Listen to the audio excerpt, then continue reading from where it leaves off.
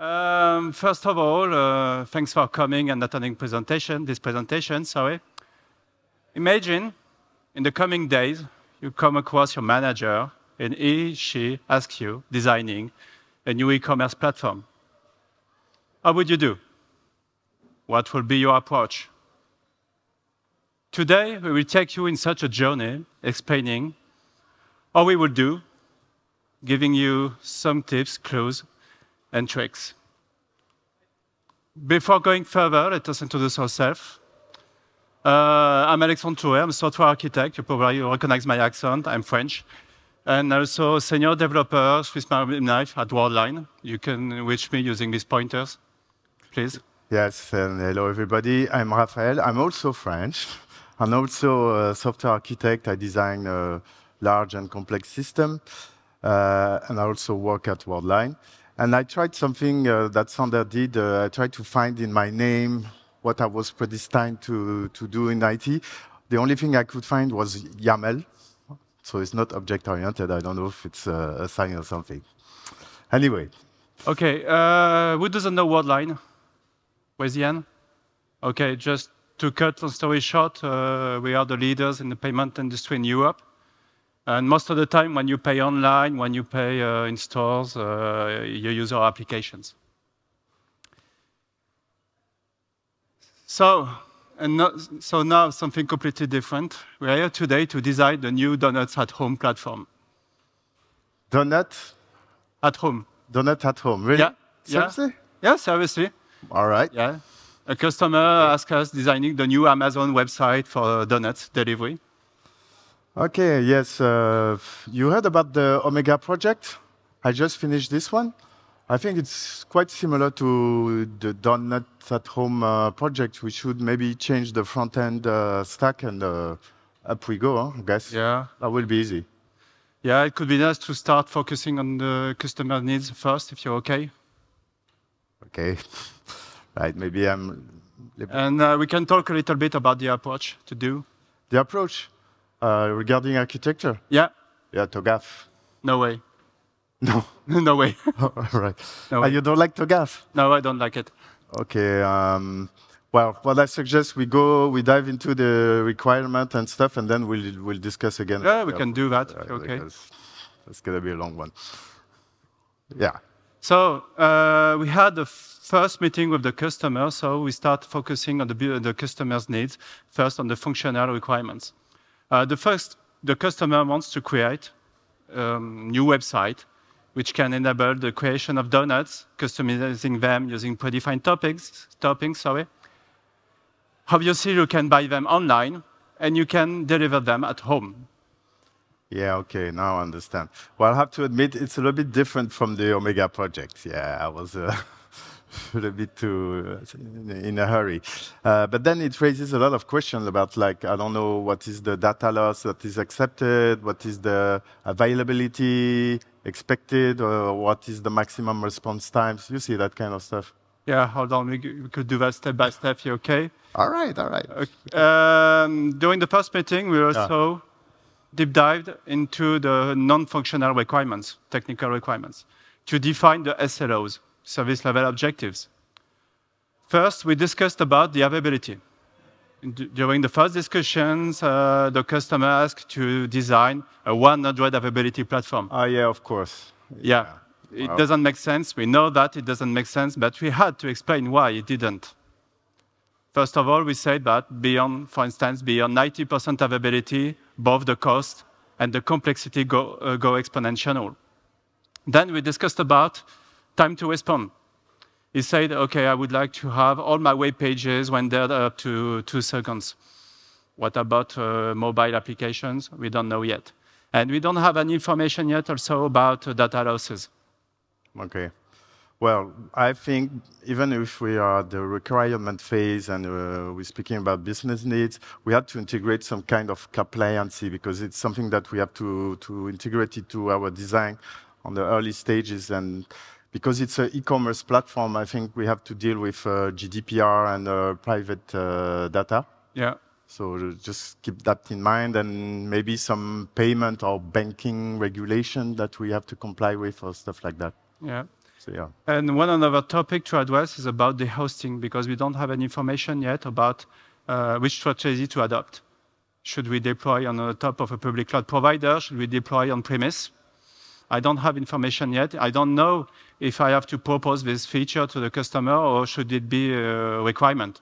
But they didn't say anything about something they do already? Or? No, not yet. No. All right. Well, I, I suggest that we, we go straight to the cloud right now. Uh, and uh, even if at the end of the day we don't deploy on the cloud, it's a good way to structure our application. Well, it's an hypothesis that I'm making here. We should trace it in uh, ADR, by the way. ADR? What does it stand for? ADR? Oh, you don't know ADR? No. Oh, no, ADR, it's, uh, it's very easy. It uh, stands for uh, Architecture Decision Record. It's a very simple and easy way to trace, uh, share, and review your decision regarding architecture. You see, it's based on a markdown format. And uh, what is important here is to trace what is the status, what is the context of the decision, but also uh, what are the consequences at the time of uh, the decision. And then by doing that, you keep track and you keep trace of the history of, uh, of the architecture and the modification on our architecture. So let's trace it here and say we go, that's the hypothesis we are making now. We go for the cloud because we want uh, to optimize the pay-per-use uh, scalability. Okay. We'll uh, now we define the hosting strategy. It could be nice to do a first iteration of the risk analysis if you're okay. Oh, yes. Regarding the risk, I also recommend to formalize a little bit. Just simple stuff like that kind of matrix, you know, where uh, you prioritize and uh, analyze the, the risk regarding the probability of occurrence and uh, the impact when it, it, occurs. The idea is to uh, mitigate the risk and move them, most, almost most of them in the green zone. You agree with that? Okay, no, based on former project, could be nice. No, we can start uh, filling this matrix with yeah. some uh, well-known uh, risk we can deal with, uh, such as the unavailability of middlewares. Either should the application should be deployed on top of public cloud provider or on-premise, it could be the same. Database access errors and network errors too. We can mitigate the risk and put uh, them in this matrix, in this box, if you're okay. Yeah, I think it's a good start. And uh, well, we'll, we'll go through and review and refine this matrix all along the way of the design. And uh, it's a good way okay. to start, yeah. So what did we do during this first step? First, we focused on the user needs. Why creating a new application? You have to understand that. Then we deep dived into the requirements. Unfortunately, we don't have information yet about the wait time objective, or recovery point objective. The first one is one is the, the time you can have the application offline, such as uh, during a crash. And the, the second one is um, data loss, which is possible, for instance, during a crash. Hopefully, we have our first SLO, service level objective. We know that 90% of the transactions should be rendered into up to two seconds. And the availability should be at least 95%. Unfortunately, the number of users is really be foggy because uh, we have uh, 500,000 uh, users a day, but it doesn't make sense because we don't have any information about the throughputs, about the peaks. And last, uh, last uh, your requirements of the customer is we need to integrate the ability to easily integrate new features. When the customer say easily, it means fast and cheap. Yes. Obviously. Oh, of course. Yeah, and something we saw uh, is compliance is also important to take into account. So we spoke about uh, bank and payment standards and regulation and also GDPR. And uh, last but not least, uh, formalism and uh, start uh, from the early stage to trace and track things. So track uh, architecture uh, related to, uh, I mean, decision related to architecture in ADR and uh, start a, a, matrix to uh, analyze and uh, mitigate the risks or not. Okay. Ah, all right, let's go back into the architecture approach. So, okay, I understood, no TOGAF. Um, how should we? Oh yes, uh, when you have to, when you have to to discuss, to exchange with uh, customers of your colleagues about uh, design, architecture, or schemas, what what what formalism do you use uh, usually? Yeah, for four years now, I've been using a C4 model. Ah, C4. Pretty straightforward, I guess. Oh yes. Yes, I'm more of uh, Archimate, but uh, I won't go into Not the same thing. Uh, I, I heard about C4, but I don't know it. Can, can you present it quickly? Yeah. yeah. Um, C4 was created by Simon Brown. Uh, strongly recommend this book, Software Architecture for Developer. It's worth it. And you can get all the relevant information on the c4model.com website. C4 model helps you designing and presenting your vision using four models and uh, in the same way that um, Google Earth, when you start from the planet, then the country, city, and so on, you will present your architecture in the same way. For instance, here is the system context view. When you present your functional view of your application, what is the service, what are the functionality rendered and uh, provided by your application. And when you deep dive, you see that's under the hood. I won't describe the whole diagram it, it could be really uh, complicated, but you can see that I did, uh, I'm stressed out uh, the topics, the middlewares, the, regard, the relevant technologies such as Angular, Spring Boot, so on, and the corresponding transactions. Okay, all right, thanks. Uh, yeah, it's it's a kind of formalism where you have different views depending on the stakeholders, yeah. and you want to align them yeah, it reminds me of something. All right. All right. Okay, let's go. Uh, let's use that then. So uh, regarding donut at home, maybe what? So it's system context. Yeah. System yes. Yes. Um, let's start with this one. Uh, what I propose is uh, we design our own view on each uh, on, on our side, and then we, we, we mix and we discuss and we see how we how to okay. go from there. So yeah? a few days later. Okay. Um, here is my uh, the functional view I designed. So I identified two kind of customers, the administrators and customers, and I split the Donuts at Home platform into two subsystems, the core system, the Donuts at Home system, and the delivery information system, in order to reuse it uh, later on. And, and I strictly externalized the payment subsystem why? Because uh, it could be tricky to handle it uh, due to the, all the compliancy to strive with, such as uh, PCI DSS. And for the bank transfer, I propose to use the good old uh, file batches. All right, okay. Yes, well, let me share my, my own design then. Uh, basically, uh, well, so we're okay with the who are the, the users and the stakeholders. Uh, what I did, uh, because I know this customer, so it's their first e-commerce project, but uh, they already do some delivery stuff. Yeah. So they have a mutualized delivery platform already. Okay. So the idea is no. to reuse that. Uh, so I didn't put it in the in the core of the system that we have to design. I, I put it outside. But regarding payment, uh, because it's uh, their first e-commerce project, I thought it was the good opportunity to start to build something that uh, they might mutualize later, just like they did with the delivery platform. That's why I put it in the core. Regarding the bank and the stuff, yes, I think we agree on that. Okay, so it makes sense for the delivery. Mm. I didn't know.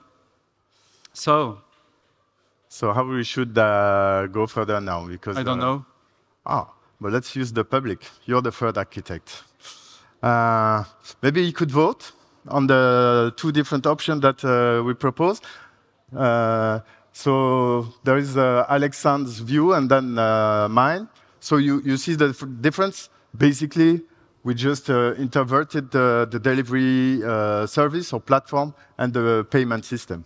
So in Alexandre's view, it's, uh, the delivery is inside the, the, core system, and in my view, it's the reverse.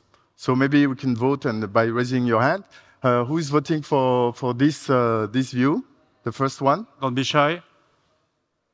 Okay. All right. And who is voting for me? I mean, no, not for me, for my, uh, my design. All right. Okay. Oh, that's going to be tough. 50, what should 50. we do? Maybe we should vote also, no? Yeah. What do you think? I think we can make a mix of both. A mix. Oh, yeah. A mix of both, yeah. Yeah, yeah, I think it's a good idea. Well, thank you for your help. so the third scenario, yes. So we choose to keep only the core system to develop and to produce. We externalize when, when we use existing subsystems such as the delivery information systems, such as the payment and the bank, uh, the bank transfer. And we, uh, we choose to focus only on the core system and what the, uh, exactly what the user needs. Okay. Um, to sum up this part, uh, first think about designing your architecture through several views, from the functional view uh, to the application, to the um, functional uh, business view, application view, and so on. It will help you presenting your architecture to different stakeholders, managers, compliance, security officers, production engineer, and so on. Then don't hesitate to confront your different point of views. It's really important. It will help you get your architecture better. Yes, and also avoid the not invented here uh, syndrome, you know. Sometimes, uh, well, we do that all, all the time, but uh, you might reinvent uh, the wheel, but this wheel will be squared because many people take many, many years to make some round wheels that are working very well. So that's the idea with the delivery platform. And uh, sometimes also uh, the make or buy. Should we make it or buy it outside? If it's uh, outside our core uh, scope, uh, business scope, maybe it's not uh, our main concern. So we should uh, source the component outside, like we did with the payment. And basically, some some company are doing quite yeah. the payment. Right? you heard about that? Okay. Okay, I don't know what you mean. Um, so now we identify the main functionalities to create it's time to see what will, what will we do and what will be under the hood. Usually, when you design an application, you design against several characteristics. Well, here are the main characteristics of what an architecture should be. Maybe regard, regarding your industry, your concept, your project, you will have different characteristics. But these characteristics are based on your experience from um, Raphael and myself. First, think about simplicity. If you, if you attended the first keynote, it will remind you uh, some topics. Start as easy as possible, but think about your, your architecture must evolve along the years. And think about the modularity. It will help you, for instance, moving from one database to one another without breaking the whole platform. Then think about cost and performance and try to find a good balance with them. Because you can design the most performant application, the most performant platform. If it costs twice the price, it won't be accepted. Yeah. If you want to deploy your application, it's more, more important now, if you want to deploy on top of a public cloud provider, think about the fault tolerance. It's a mandatory feature now. And last but not least, think about testability in my opinion, testability is a good smell because if you can test easily your application, maybe you failed in the simplicity, the modularity, or the volatility. It's very important. Yeah, and I was just in a conference. Maybe no, you should add now uh, green, the green aspect. You know, how uh, is the impact on the ecology, but what is important now is to have a, a frame to, to make decision. What I propose, based on that, we should review the kind of architecture that, uh, that we see today, let's say, or we saw in the past also. Uh, review them very quickly, and then what I propose to you then is to compare them regarding the criteria, and then going back in the donut, yes, donut at home uh, project, uh, we'll see what, what fits best uh, our need. So let's go, if you agree with that, yes, with the monolith. Uh, so very, very quickly, huh? you know, the three-tiers uh, uh, architecture where you have the presentation layers in front of the, the users, and then you have uh, the backend with all the data, and it's called monolithic because this middle layer is executed on one single node, all right? That's why it's a monolith. Uh, you have a variant of that, which is called modular monolith, when you do some uh, software architecture within this, uh, this layer. So you have module, for instance, here, business layer, persistence layer, but it can be any, anything.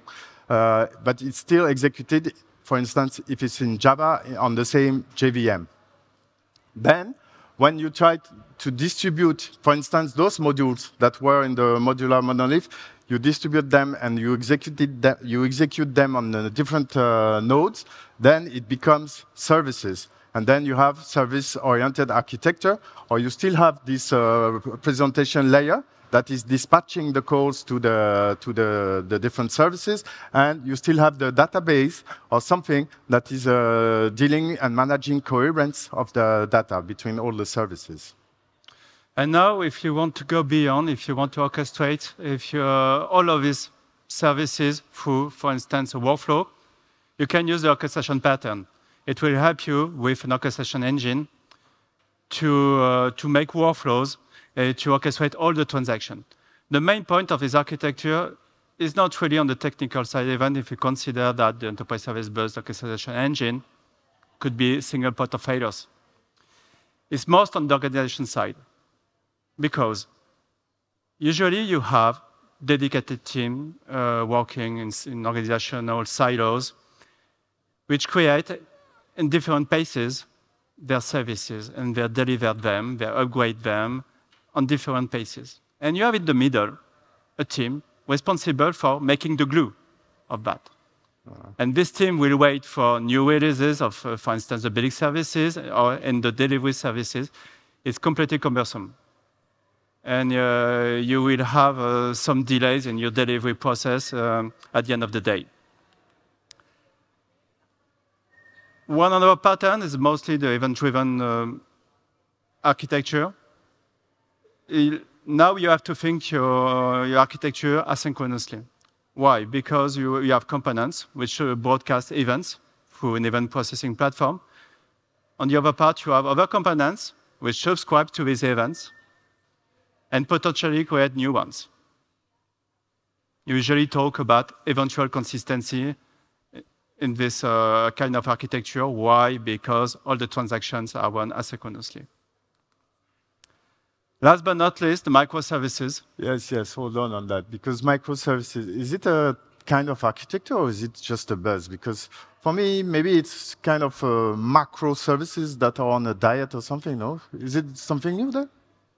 Yeah, we can say that after reading the last article from the Prime Video yeah, tech blog that everybody yeah, wants yeah, to go back to uh, the monolith. Uh, it's both a technical pattern and organizational pattern. Ah, Why? Because technical, because every service got its own API, it's reachable only, only through an API, and got its own database. And organizational, why? Because behind every service, you got a dedicated team. Usually, we talk about you own it, you run it. And that's your uh, right. The point you write is uh, you need to avoid uh, tight coupling be uh, between every service as possible, if it's possible. Um, that's the point okay. about microservices. No, that's clear. And yeah, I see the database stuff and the and, organizational. And for that, yeah. I forgot just uh, you can use a DDD principle and identify the bounded context. All right, all right. Okay. Uh, now? Yes, if we go back now to the criteria you presented uh, earlier, uh, we could use a table like that. The idea again, it's based on our own uh, feedback uh, from Alexandre and me. What is important is not how many triangles we put in, uh, in any cells. The idea is to show, to have uh, something, a frame of reference uh, to base your decision on, and it can base on uh, any input or, or, feedback or best practices you have. So if we go back to the Donut at Home yeah. project, uh, because uh, they wanted something that uh, will scale. They don't really know uh, how many users they will have and uh, what will be the success of their new offer. I think that we can remove the monolith and the orchestration. Yeah. basically, it's it's yeah. I mean, it's it's donut at home, but they might decide to to start I don't know waffle at home start in Belgium, you know, in, in case uh, it works, and then you know di diversity and uh, create new new offering. I think it's it's better to remove those architecture from now. Uh, yes, and we, if we remove uh, orchestration, we can remove SOA too. I think. Yeah. Well, yeah. Basically, it's okay. okay so, so now, what about event-driven and microservices? What's your what's your opinion? Well, I'm because I don't know how many users will be on the platform. I have to admit that the performances are kind of uh, scaring me. Uh, I like the event-driven architecture for that, you know, because you have a asynchronous uh, communication and stuff. It's uh, I feel more at ease, but uh, yeah, I think, think, yeah, it makes sense. But uh, I think because we would like to add new features easily, we don't have information yet about some points. Um, could be nice to focus on testability if you're okay. So to choose uh, to start with the microservices pattern. Oh yeah, yeah, yeah. I agree. Yes, because it's important when we design things uh, to take into account other people that will be involved in the project. And testability is a good way to not forget other people, you know. And yes, maybe let's start with microservices. Okay. Uh, easier to test, and then we'll see how it goes. So I identified the three main domains, the shopping, the billing, and the customer, with uh, three services. Uh, the billing service got two databases, one for the, the bills with an object storage and one database. And uh, we got uh, three APIs on top of that. And uh, choose also to implement a back for front pattern in the presentation layer. Yeah, okay. Yeah, yeah, yeah, yeah. It's what do you nice. think? Yeah, yeah, I like this. Yeah, microservice stuff is nice because yes, you have different database and stuff. But there's something that is still annoying me here. Yeah. Because uh, you see, uh, we are very dependent on the external uh, delivery platform. So we're linked in HTTP uh, synchronous communication. So if the platform is down, then uh, we have problem in our, in our system. And I think that uh, those two uh, internal services, billing and shopping, are kind of uh, too tightly coupled. Uh, so if the performance and the, the scalability uh, uh needs increase, uh, we might have some problem. I'd like to put some, you know, way to to to some so maybe asynchronous uh, communication between shopping services and the. You want to make microservices event processing in an event processing yeah, platform? something like that. Yes. Okay, we can do that, I guess. Yes, yes, that would be nice because then the shopping and the billing services now are, are, are decoupled a, a, little bit regarding performance, for instance. And I like the fact that we, we still uh, discuss with the external system with uh, HTTP and their own uh, protocols, but then we change the paradigm paradigm when we enter our system, and then we go on a message-based uh, communication. Now I feel more comfortable with that. Okay, yeah. so now we agree with the kind of architecture. We start. To, it, could be nice now to choose the regarding the regarding the technologies. Sorry. Yeah. So I propose to use Spring Boot for the APIs because we used to uh, we used to use this technology. Yeah, Spring Boot. Yeah, we use that also uh, on uh, on Omega project. Um, but uh, maybe it's the opportunity to, to check and to think about, because uh, I, have checked uh, another conference, uh, they were comparing Spring Boot and Kafka uh, yeah. just, just before. Uh, let's check maybe regarding technology, what is the tech radar of the company, what they propose. Because when you check that, in this domain, they also recommend Quarkus as a production ready.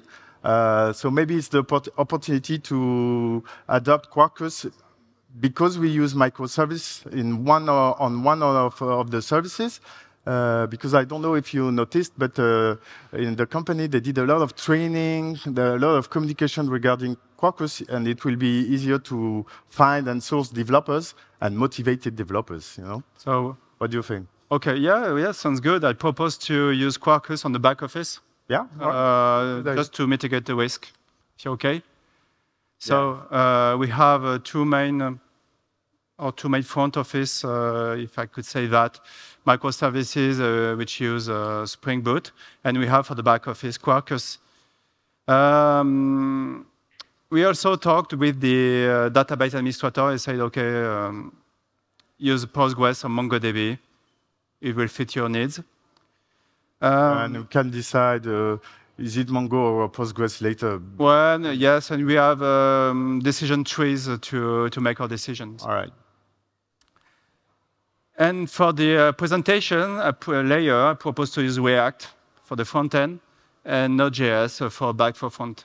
Oh, yeah, that's very classical. But uh, I don't know if you heard about uh, Hype.js. I was in a, in a demo from the labs uh, last week. They spoke about this new framework, Hype.js. It's a JavaScript uh, full stack framework. Wow, I was impressed. It's very amazing and, uh, and promising. Uh. Maybe it's the opportunity to test it on the project. Now, what do you think? Okay, a full stack JavaScript framework. Yeah. Okay. No, okay. you don't. Yeah, so yeah, it was demonstrated by the RED.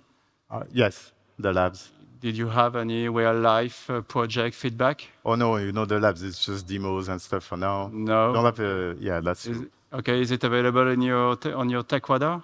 Oh, it's on the tech radar, but it's yeah, you're right. It's not production ready, I guess. I think it's not the time. we are not ready yet. Okay, okay, okay. Cosmic okay. Technologies.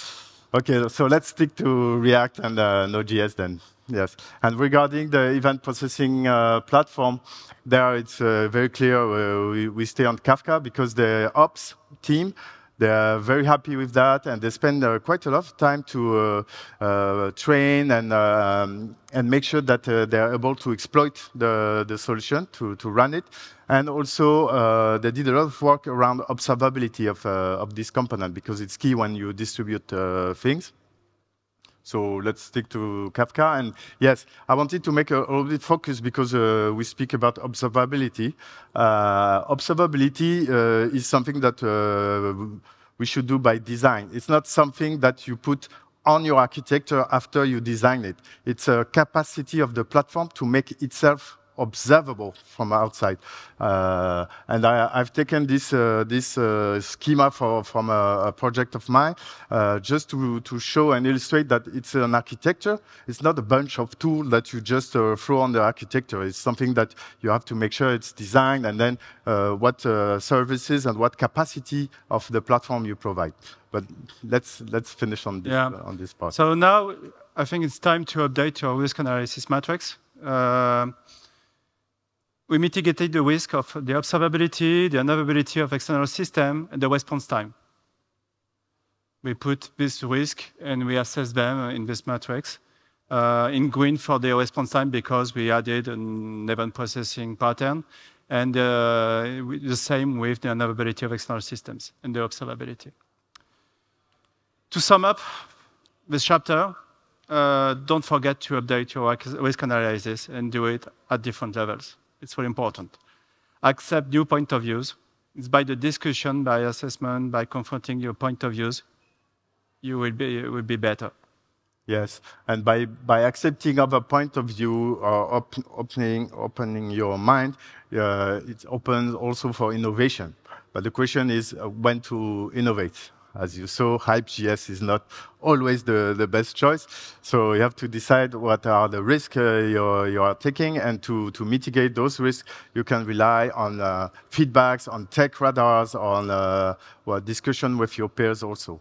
Uh, and last but not least, uh, we don't have too much time to, to deep dive on that aspect, but it's very important when you design an architecture to think about the organization that is uh, behind the architecture or, or for, for who the architecture is, uh, is made. So you know about the Conway law and that kind of stuff. Uh, we saw that when uh, uh, we decided not to forget other, other teams and other people involved uh, in the architecture. like people in charge of test or the ops regarding observability, for instance. So we assessed the functional view, the application view. Now it's time to make it real and we have to, to deal with the infrastructure. So the question, we decided at the beginning of the presentation to host our application on the top of, on the cloud. Yeah. So private or public cloud?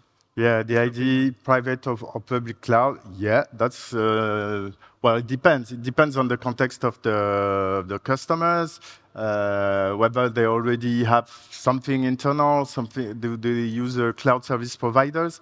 So it could be on main uh, service providers or other, other local providers maybe, or it could be internalized.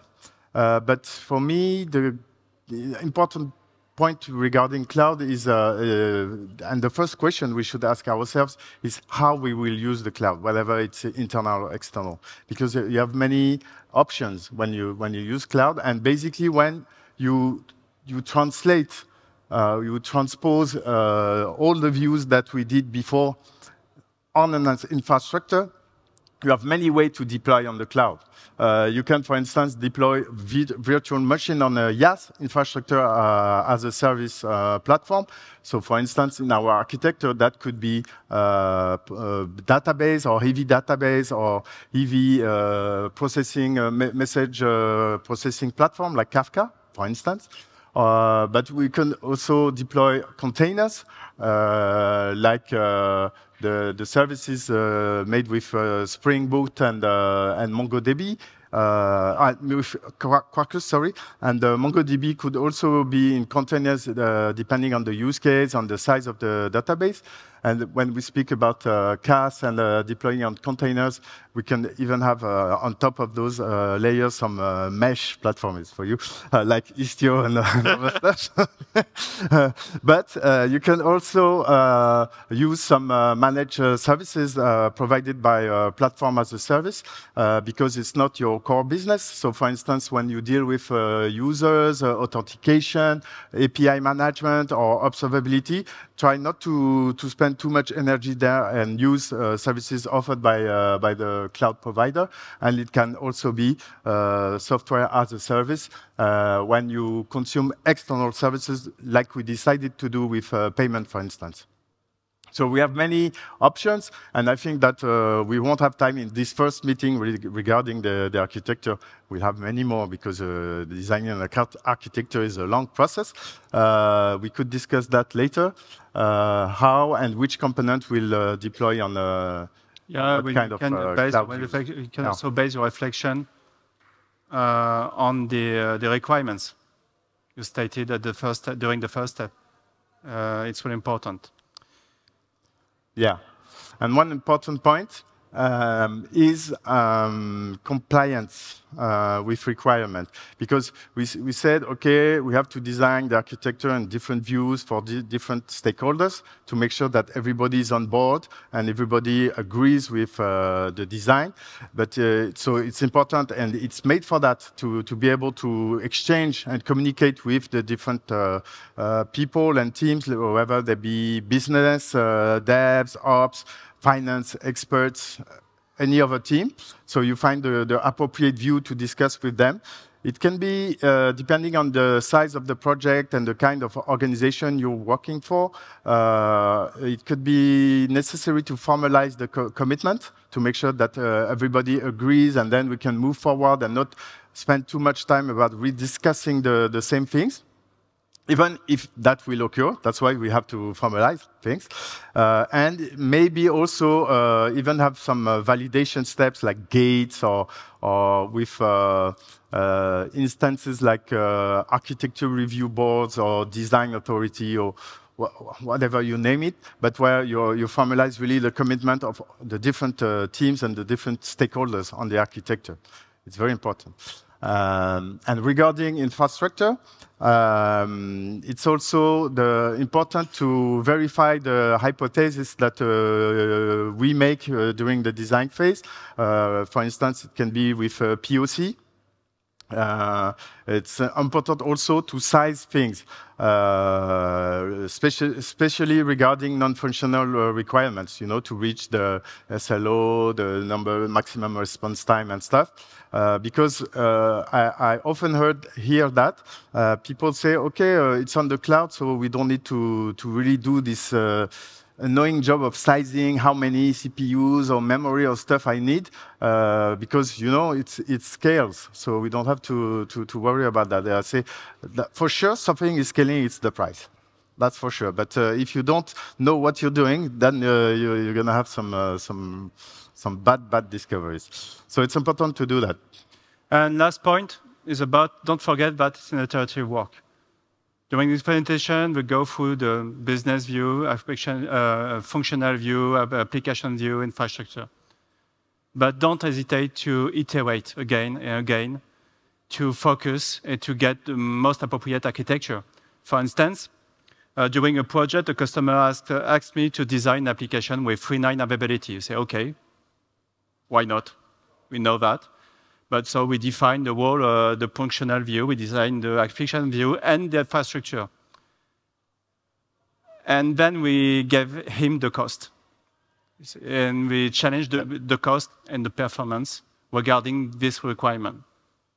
And that's why we did another iteration to assess again uh, its requirements. And Yeah. by the way, we, do, we choose to reduce the availability uh, of the platform. Yeah, but I think yeah, it's it's very iterative because the way we show you today the the process, it, it looks like a linear and sequence sequenced uh, process, like going from the the business view to an infrastructure. But it's a cycle. You have to go through with many meetings, uh, rediscussing with the the stakeholders because things will change. We have to adapt. What is very important uh, is to make sure that everybody is on board and uh, do, do not hesitate to, to make another cycle and to recheck things uh, because then you, you, will, uh, uh, you, you, you won't lose too much time uh, afterwards. Yeah, and potentially it will help you having um, most uh, sim- the most simple architecture you could use for this project. Yeah, simplify on the process. Yeah. So now, Okay. to wrap our presentation, for your next architecture studies, don't forget, first, first of all, uh, step back, take a breath, don't panic, remain open-minded, and share your vision with all the stakeholders. It's really important. Yeah, and the approach, uh, it's important to formalize and trace things. So we saw it with ADR, with the formalism, with the matrix, with uh, many things like Reunion, ARB, Design Authority, anything. It's very important to do that because that's how we, you are able to exchange and communicate and collaborate with all the stakeholders. And as I just said, it's very important to onboard everybody.